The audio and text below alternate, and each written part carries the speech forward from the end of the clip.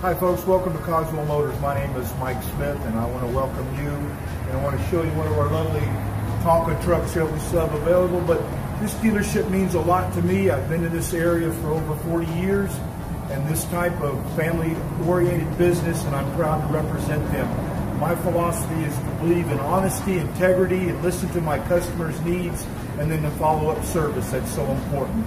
And I want you to give us an opportunity and a try here at Cogswell Motors and thank you again for your patriotism and your business. Have a great day.